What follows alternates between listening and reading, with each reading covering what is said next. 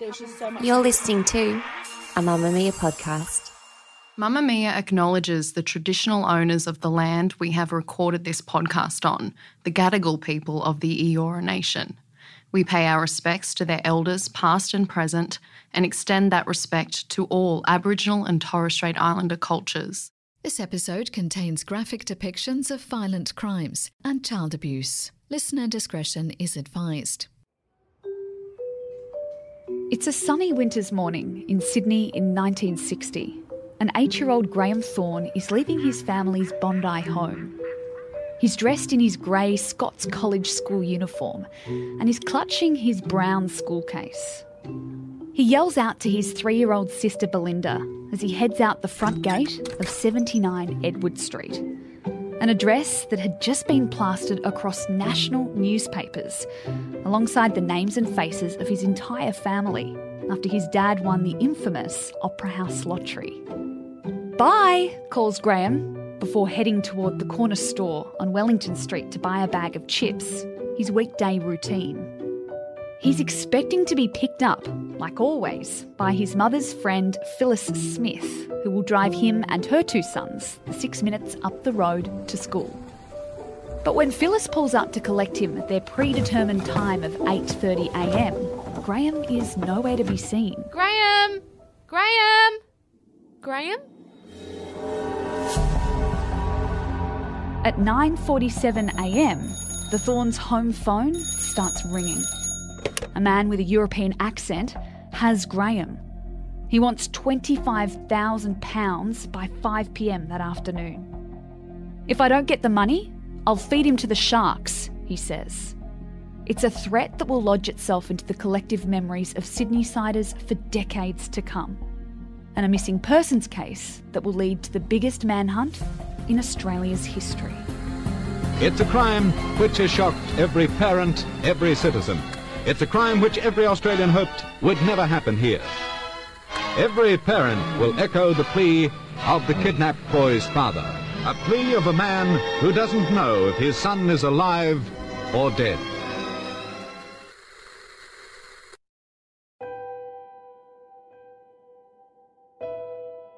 I'm Gemma Bath, and this is True Crime Conversations, a Mamamia podcast exploring the world's most notorious crimes by speaking to the people who know the most about them.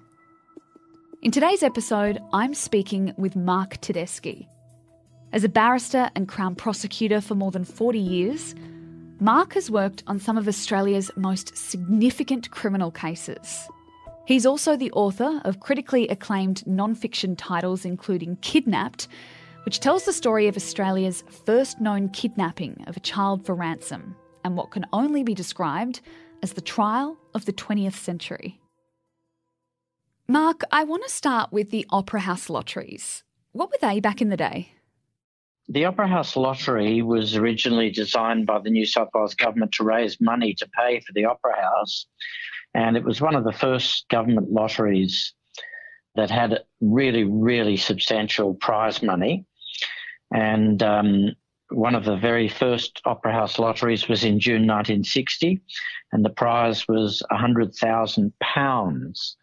Now, it may not sound a lot today, but in fact, with that amount of money, the equivalent at that time, you could buy 12 standard ordinary houses with. So it was a very large sum of money. The other big difference between then and today is that the uh, people who organised the lottery wanted to have complete openness and wanted to be able to convince the public that everything was above board about the lottery. So they published the names and addresses of the winners of major prizes and even photographs. Of course, after this tragic case that we're about to speak about, that changed and uh, the names and addresses of winners were no longer published. I understand having names and faces there, but addresses is next level to actually publish those in the newspaper for everyone to see. It seems strange today, but you've got to consider that in 1960 they had very different concepts about privacy and um, people didn't bat an eyelid. The other thing is that if you knew somebody's name and address, you could ring up the telephone exchange and get their phone number. So there's no privacy or checks as to why you might be calling them? No, that's correct. Tell me about the Thorne family. Who were they in the 1960s? The Thorne family was a very modest, typical working class family. Bazil, the father, was a travelling salesman. Freda, his wife, was a housewife. They had three children, uh, one of whom was Graeme, who in 1960 was eight years old. He was a reserved boy, very polite, very friendly, generally obedient. His parents, Bazil and Freda, were ordinary, unremarkable, hardworking Australians who were quite strict with their children and they struggled to make ends meet. They had skimped and saved their money to send their only son to Scots College in Woollahra in Sydney. And they lived in a modest rented apartment in Bondi. So Bazil used to buy these Opera House lottery tickets, which were about £3. That's quite a lot relative to the average pay packet then, but I suppose for him it paid off because actually he won the lottery, didn't he? Yes, he won first prize in the Opera House lottery on the 1st of June 1960. And uh, his name, address, and a photograph of him holding the winning ticket was published in uh, major newspapers. Let's go to the morning of July 7, 1960. What happened that morning? Graeme was off to school?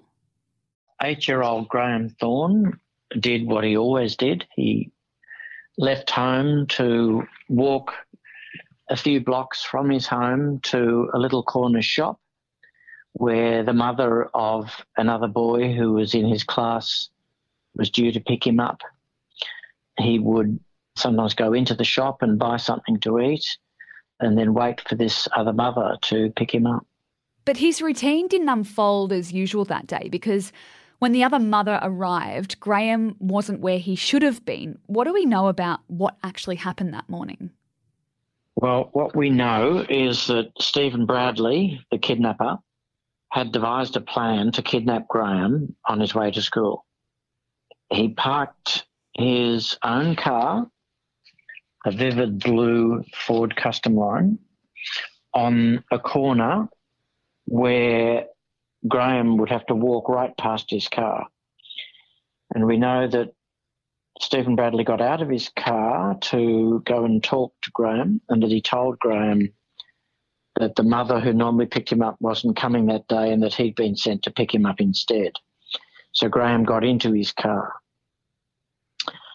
Unfortunately for Stephen Bradley, but fortunately for the police and for justice, just as Stephen Bradley got out of his car, a man by the name of Cecil Denmead was driving past and saw this car parked right on the corner in a very unusual spot for somebody to park and saw this man getting out of his car. And thankfully, Cecil Denmead was a car enthusiast and he had a good look at the car as he went past and a good look at the man as he went past. And he was able to later give the police a very concise description of the vehicle and also a description of the man who got out of it. And what happened after Graeme got into Stephen's car? I know there's a ransom call that he makes that became quite memorable. Stephen Bradley drove to a phone box near to the Spit Bridge on the northern side of Sydney. So he'd driven from Bondi, where he picked up Graeme. At some stage during that journey, he turned what was a voluntary lift into a forced abduction because Graeme thought that he was going to school, but at some stage he would have become alarmed and would have realised that this man was not driving him to his school. So Stephen Bradley secured Graeme Thorne in the car. He then drove to Spit Bridge and made the first call from a public phone box near the Spit Bridge. And he made the call to the Thornes family home. Now, he assumed that whoever answered the phone at the Thornes home would not have realised that Graeme was already missing. And that was rather deluded on his part because the fact of the matter was that when the mother came to pick up Graeme outside the shop and realised that he wasn't there, she went to the school, dropped her own son at the school, made inquiries and found out that Graeme hadn't arrived at school, and then drove straight to Freda, Graeme's mother, to report that Graeme hadn't turned up at school and hadn't been at the shop. Freda was immediately concerned and immediately rang the police, and a police officer had already arrived at her home and was being told information about crime when the phone rang.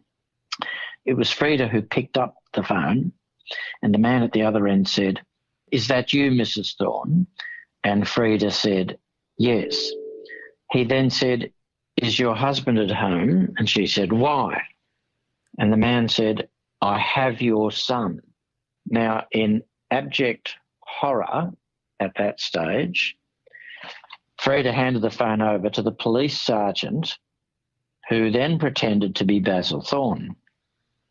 Now, unfortunately, whilst a lot of Australians had seen the photograph of Bazil Thorne and knew that he'd won this fabulous prize, this policeman was one of the few people who didn't know.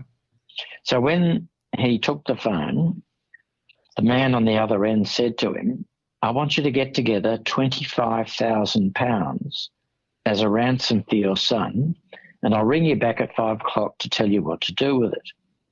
The poor sergeant really didn't know what to say, and he, what he said was some words that he was later to deeply regret.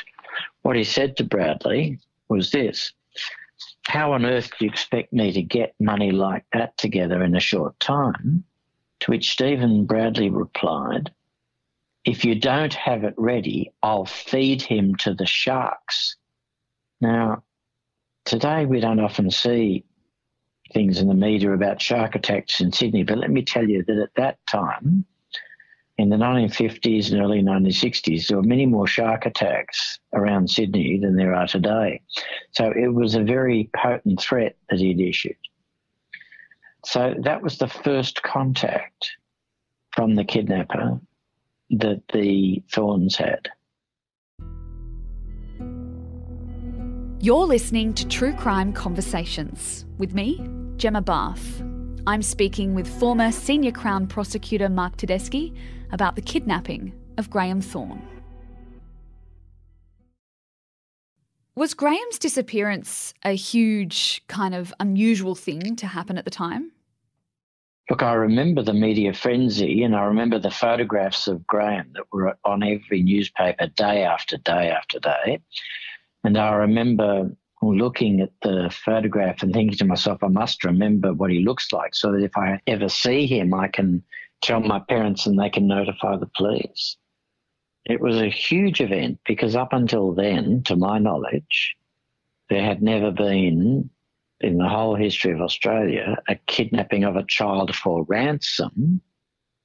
That was what made it a major news event throughout Australia, but it was also broadcast around the world because there'd been, in the years before then, there'd been some very high profile kidnappings, one in the United States, the Lindbergh child, and um, one in Europe, a child from the Peugeot family had been kidnapped for ransom. So those kidnappings overseas had garnered international attention, and this one in Sydney also got attention around Australia and around the world.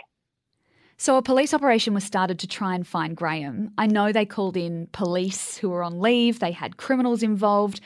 It was one of the biggest manhunts in Australian history. But what evidence did they initially have to go off?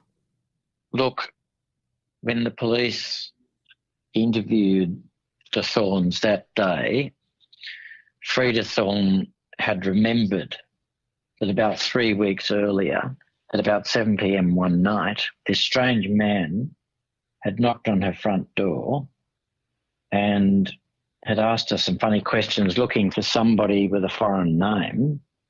And then when she said that nobody of that name lived there, he said that he was a private detective.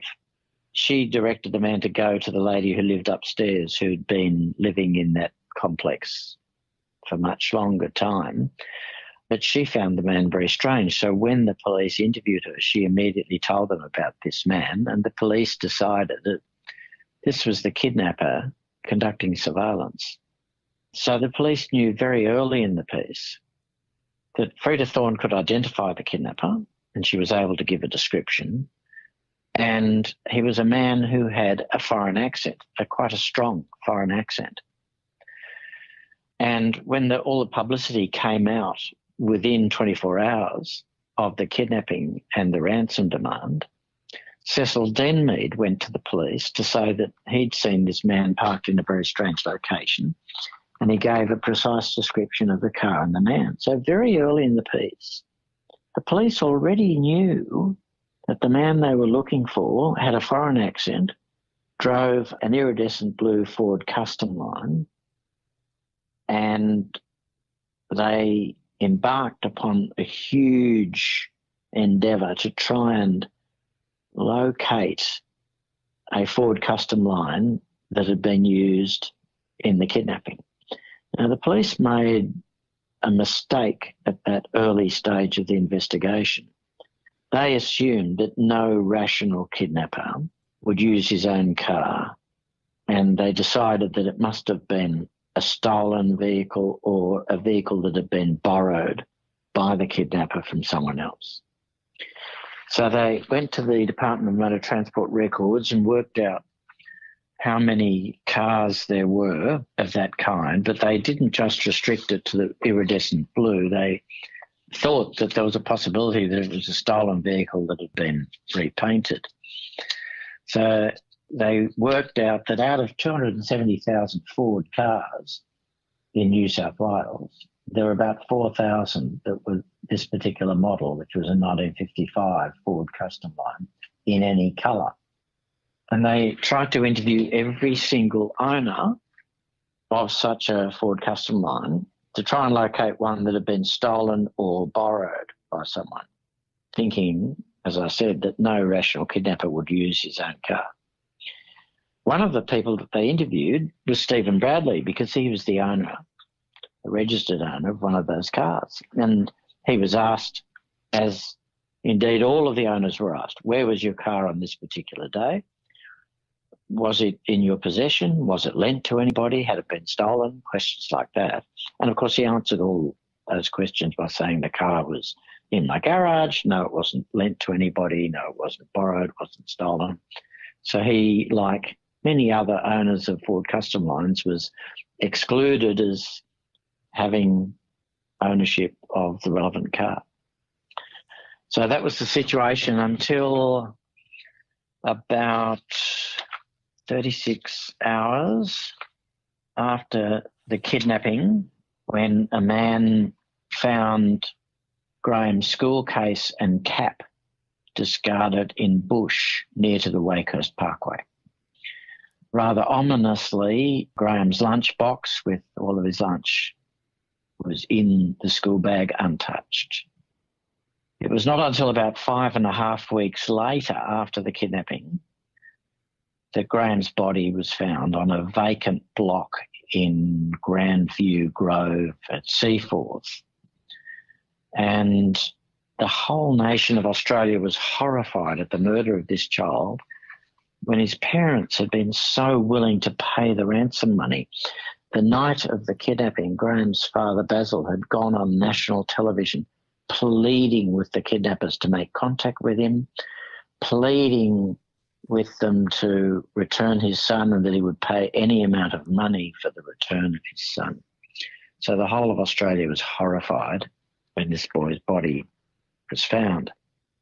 When it was found, the body had a silk scarf that had been used as a gag around his head and a particular type of picnic blanket, was wrapped around the body, and Graeme's clothing was very, very carefully scrutinised.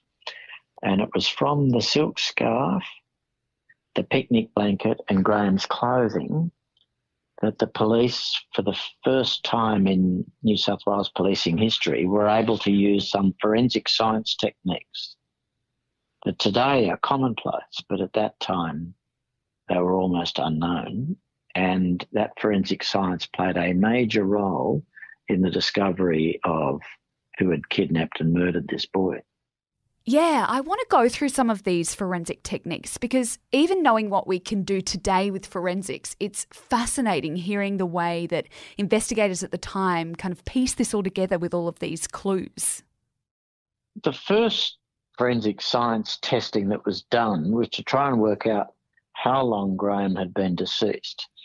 And what they worked out was that he had died very soon after his kidnapping and he'd been deceased for really the five and a half weeks between the kidnapping and when the body was found. And the next thing that they found was that on the blanket and his clothing, there were two types of seeds from cypress trees. One type of cypress was quite common, but one type was particularly rare.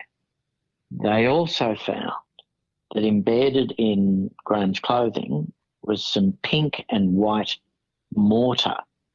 So, what they thought from all of that was that Graeme's body had been in the underground part of a house or near to the foundations of a house where pink and white mortar was present.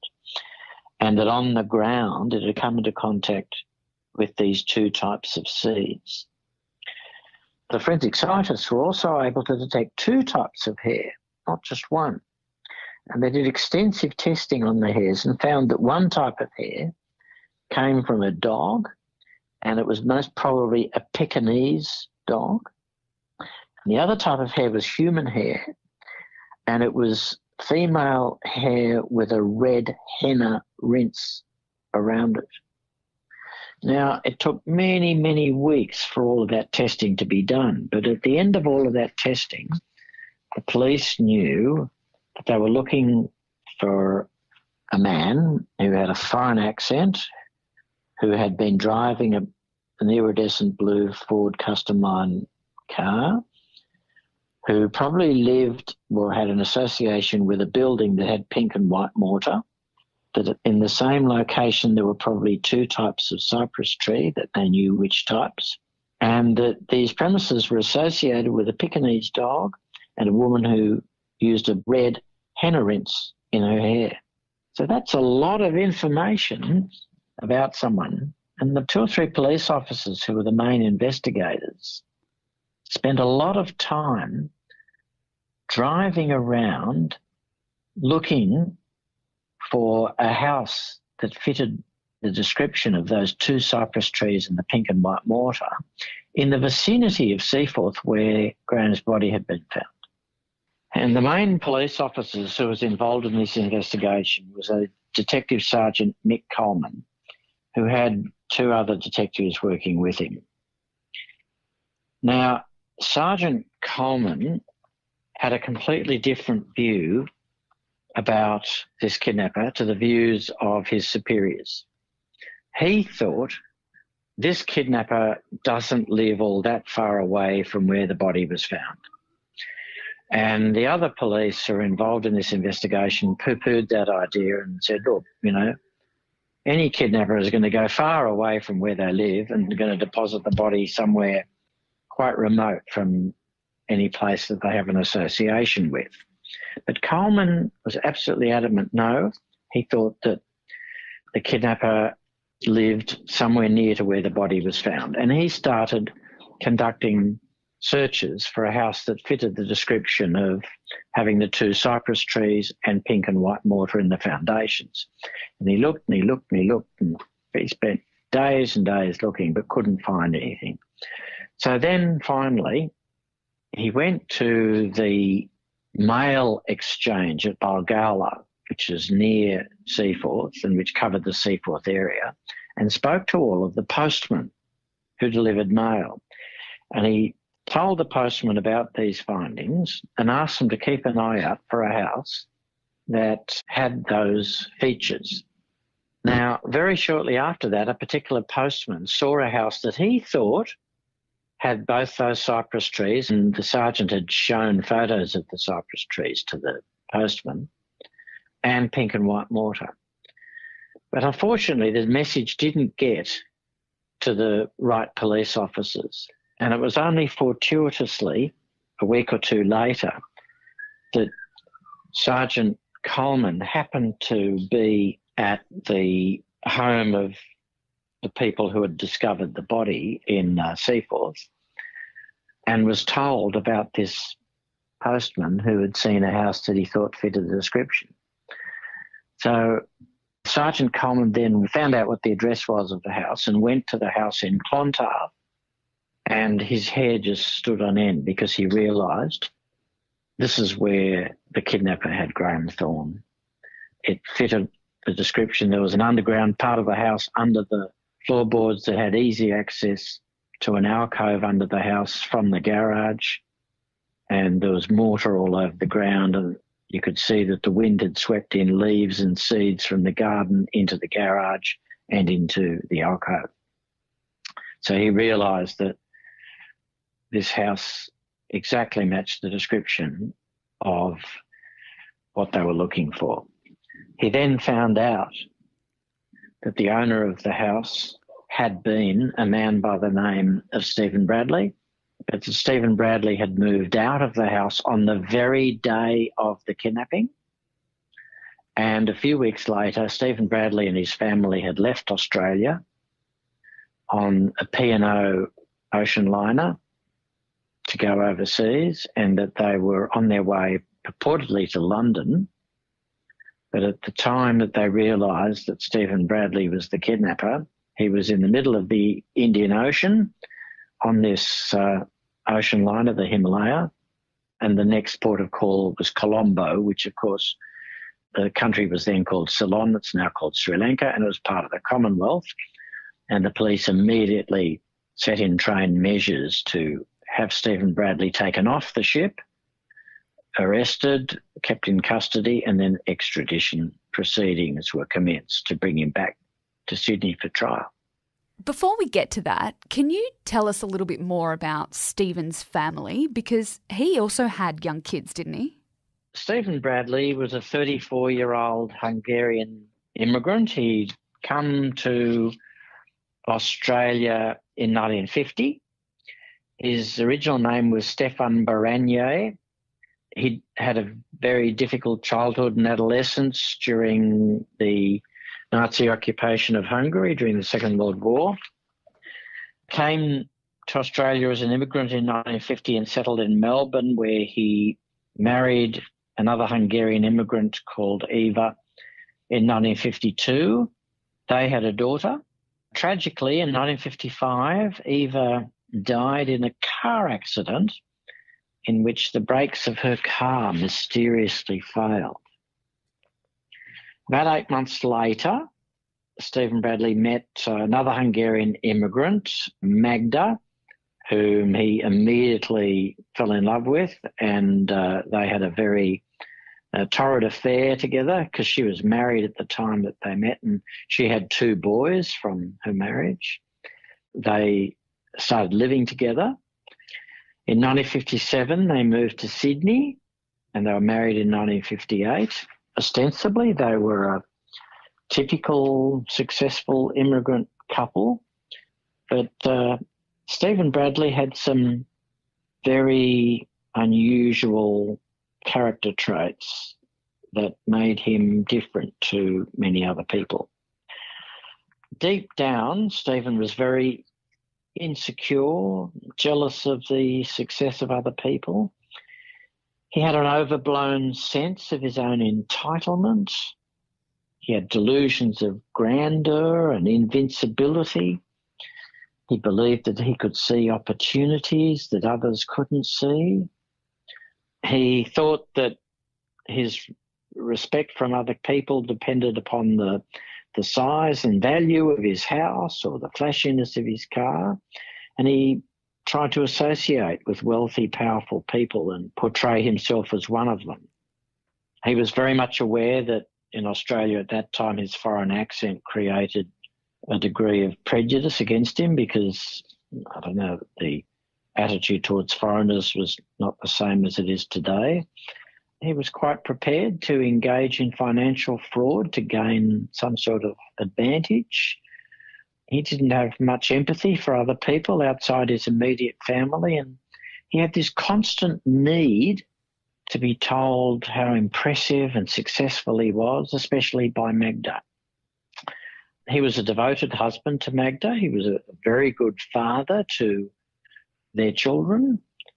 And uh, Magda, having failed in the first marriage, was absolutely determined to succeed in this marriage. And she just basically went along with all of Stephen's harebrained financial schemes. Now, after coming to Sydney, Stephen began to work for a life insurance company as a salesman. And it was while he was working as a life insurance salesman that he took out a loan from the insurance company and bought a very expensive house in Moore Street at Clontarf. And really much more than he could possibly afford, but he managed really by fraud to get a loan that was actually more than what he paid for the house. Shortly after that, there was what he called a misunderstanding with the insurance company and some insurance premiums that he had been paid by customers that he should have passed on to the insurance company had not been passed on. So he was let go.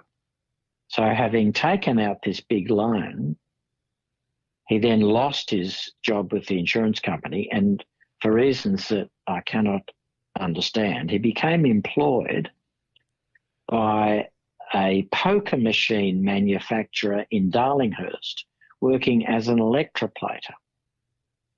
His salary was far less than what he'd been making with the insurance company, and he was basically in dire financial straits and faced the prospect of losing his house. And it was in that desperate financial circumstance that his completely narcissistic personality produced a belief in him that he had to take extreme action to avert financial disaster and to avert the shame, particularly with his wife, of losing their home. And it was at that time that he saw this photograph in the newspaper of Bazil Thorne holding the winning lottery ticket of £100,000 with his name and his address in the paper. And around that same time, he'd seen an article in a magazine about the kidnappings overseas that I mentioned earlier.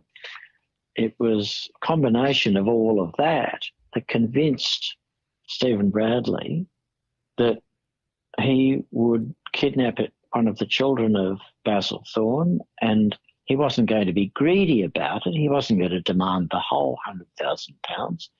He'd only demand twenty five thousand pounds. So, and he had no conception that there might be any risk to the life of this child, or that he might cause extreme distress to the parents of this child when he kidnapped the boy. And he had no conception of the fact that there would be massive media attention to the kidnapping for ransom of this child. He thought, oh, look, within a short period of time, the money will be paid, I'll return the boy to his family, and everybody will live happily ever after. And of course, in that belief, he was totally deluded.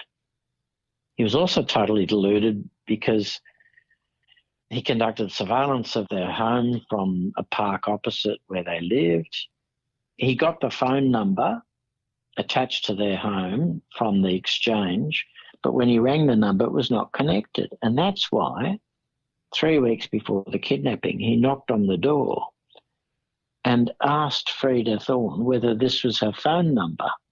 And found out that it hadn't yet been connected, but was going to be connected a few days later.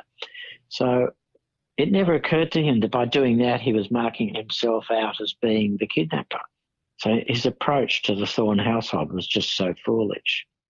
But there's a difference between a kidnapping and a murder. How did it go so wrong? It went wrong because Stephen Bradley imprisoned Graeme Thorne in the boot of his car. And he'd put a gag around the mouth of the boy. And the reason why he did that was that on the very same day that he conducted this kidnapping, there was a firm of removalists that was taking the Bradley's possessions away from their home because they'd sold their home. And he faced the prospect that these removalists might hear the boy calling out from inside the boot of the car. So he gagged the boy, he placed him in the boot of the car, and at some stage he hit him on the head with a blunt object. And the boy died from the effect of being hit on the head and from a lack of oxygen in the boot of the car with the gag on. So it was a combination of factors that caused the death of this boy. And of course, causing the death of the boy was completely against his own interests because he must have known that he would probably need to produce evidence that the boy was alive to get the ransom. Stephen goes to trial for this murder. He's he's you know convicted. He's found guilty of murder and he goes to prison.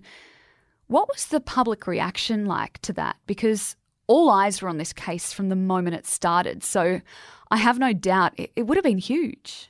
Uh, the reaction of the public was jubilation. There was literally a mass of people outside the courthouse at Taylor Square at Darlinghurst dancing in the street with jubilation at the fact that this man had been convicted because the evidence against him was overwhelming.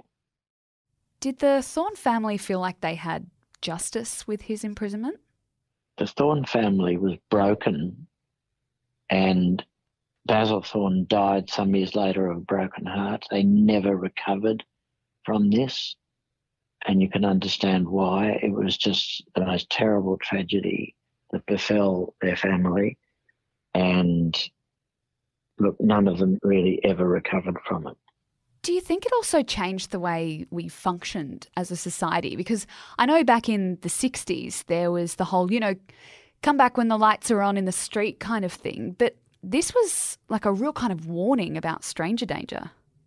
Look, it completely changed the way in which children were given freedom to wander around their neighbourhood and play in their neighbours' yards and go playing in the nearby bushland and things like that. It completely changed Australia in that way. And parents became much more protective towards their children. I can't tell you the number of people who have come up to me at talks that I've given about this book and told me that their lives changed markedly after the kidnapping of Graeme Thorne, and their parents would no longer allow them to roam freely around their neighbourhood, and they'd be restricted to their backyards. They wouldn't be allowed to go around without parents in the same way that they did before. It changed Australia. Is it true that this crime also influenced what would become your future career? Look, to be honest with you, I had wanted to be a lawyer from when I was five, which I know is very strange. but at the time, my father was working as a court interpreter, translating for Italian people who were appearing in the magistrates' court, what we now call the local court. And he was coming home with these incredible tales about people whom he translated for. And I, I think it was that that convinced me that I wanted to become a lawyer rather than what happened to Graeme Thorne. But I, I certainly did identify very closely with Graeme. And I think any child who was aware of what had happened, uh, who was around the same age, would have been well aware of it. And anybody older uh, would remember it very vividly. There have really only been two crimes in Australia that have had massive attention around the world, and this was one of them. The other one was, of course, the death of Azaria Chamberlain which also went around the world. But this case had the same sort of publicity around the world that the um, Azaria Chamberlain disappearance did, and and and the trial of Stephen Bradley attracted about as much attention as the trial of Lindy and Michael Chamberlain. And it also kind of changed the way police worked, didn't it? Because forensic science, as you were saying earlier, it was a new kind of area for police. Yeah, forensic science really became a mainstream of police investigations at around that time, and it introduced techniques that had never been used before, and it changed the police approach to a lot of their investigations. Thanks to Mark Tedeschi for assisting us to tell this story. You can find a link to his book Kidnapped in our show notes. And a big thanks to anyone listening who's become a Mamamia subscriber. Subscribers get access to every podcast, exclusive videos, and all the great articles on Mamamia. And of course, you'll be supporting our team of female journalists and producers. Subscriptions cost as little as $5.75 a month. There's a link in our show notes too. True Crime Conversations is a Mamamia podcast hosted by me, Gemma Bath, and my executive producer is Gia Moylan.